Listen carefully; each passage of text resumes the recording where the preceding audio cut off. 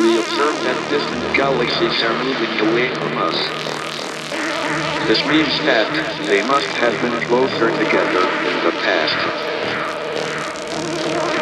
In fact, one can show that all the galaxies must have been on top of each other about 15 billion years ago. It was the beginning of the universe and of time itself.